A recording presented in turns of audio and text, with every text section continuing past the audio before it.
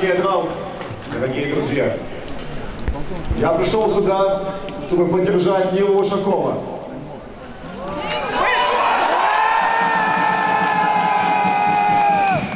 Es patīstu Nilu jau vairākus gadus, 25 gadi.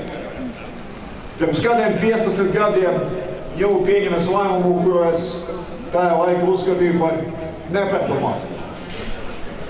Молодой человек, многообещающий журналист, с хорошим образованием принял решение возглавить глухую оппозицию. Центр согласен.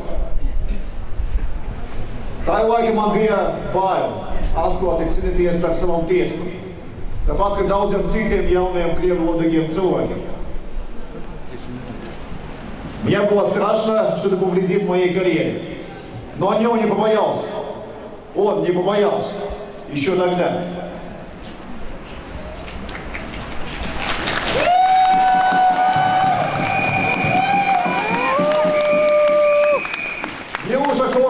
Больше, чем первым русским мэром. Он показал на примере Риги, что это возможно жить и работать без красных линий.